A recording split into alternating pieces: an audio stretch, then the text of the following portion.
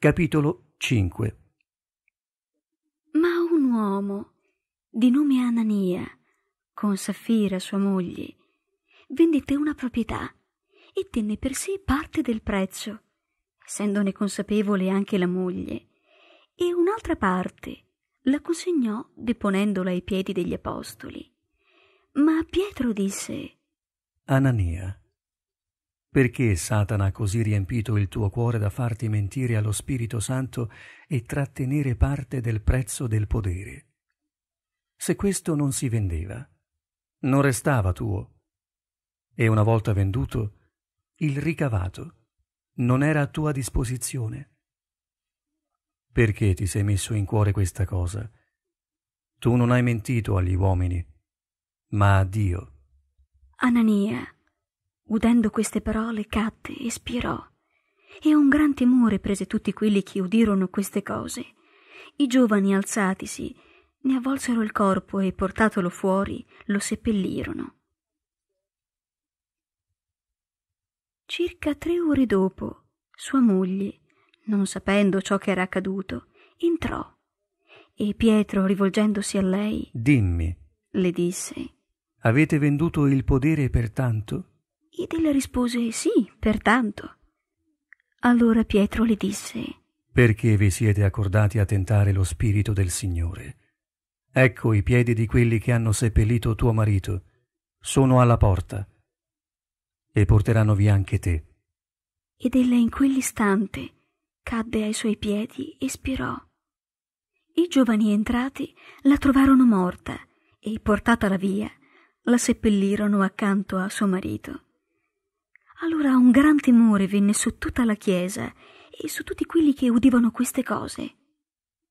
Molti segni e prodigi erano fatti tra il popolo per le mani degli apostoli e tutti, di comune accordo, si ritrovavano sotto il portico di Salomone. Ma nessuno degli altri osava unirsi a loro. Il popolo però li esaltava. E sempre di più si aggiungevano uomini e donne in gran numero che credevano nel Signore, tanto che portavano perfino i malati nelle piazze e li mettevano su lettucci e giacigli, affinché quando Pietro passava, almeno la sua ombra ne coprisse qualcuno. La folla correva dalle città vicine a Gerusalemme, portando malati e persone tormentate da spiriti immondi, e tutti erano guariti. Il sommo sacerdote e tutti quelli che erano con lui, cioè la setta dei Sadducei, si alzarono pieni di invidia e misero le mani sopra gli apostoli e li gettarono nella prigione pubblica. Ma un angelo del Signore, nella notte, aprì le porte della prigione e, condottili fuori, disse Andate, presentatevi nel Tempio e annunziate al popolo tutte le parole di questa vita.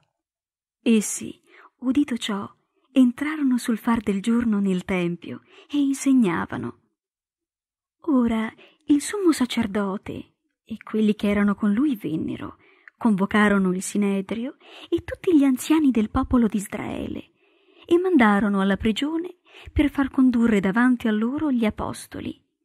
Ma le guardie che vi andarono non li trovarono nella prigione e, tornate, fecero il loro rapporto, dicendo La prigione l'abbiamo trovata chiusa con ogni diligenza e le guardie in piedi davanti alle porte. Abbiamo aperto, ma non abbiamo trovato nessuno dentro. Quando il capitano del tempio e i capi dei sacerdoti udirono queste cose, rimasero perplessi sul conto loro, non sapendo cosa ciò potesse significare. Ma sopraggiunse uno che disse loro Ecco, gli uomini che voi metteste in prigione sono nel Tempio e stanno insegnando al popolo. Allora il capitano con le guardie andò e li condusse via, senza far loro violenza perché temevano di essere lapidati dal popolo. Dopo averli portati via, li presentarono al Sinedrio e il sommo sacerdote li interrogò dicendo Non vi abbiamo forse espressamente vietato di insegnare nel nome di costui? Ed ecco, avete riempito Gerusalemme della vostra dottrina e volete far ricadere su di noi il sangue di quell'uomo. Ma Pietro e gli altri apostoli risposero Bisogna obbedire a Dio anziché agli uomini. Il Dio dei nostri padri ha risuscitato Gesù che voi uccideste appendendolo al legno e lo ha innalzato con la sua destra, costituendolo principe e salvatore, per dare ravvedimento a Israele e perdono dei peccati. Noi siamo testimoni di queste cose e anche lo Spirito Santo che Dio ha dato a quelli che gli ubbidiscono. Ma essi, udendo queste cose, fremevano d'ira e si proponevano di ucciderli. Ma un fariseo, di nome Gamaliele, dottore della legge, onorato da tutto il popolo, alzatosi in piedi nel sinedrio, comandò che gli apostoli venissero un momento allontanati. Poi disse loro Uomini di Israele, badate bene a quello che state per fare circa questi uomini, poiché prima d'ora sorse Teuda, dicendo di essere qualcuno.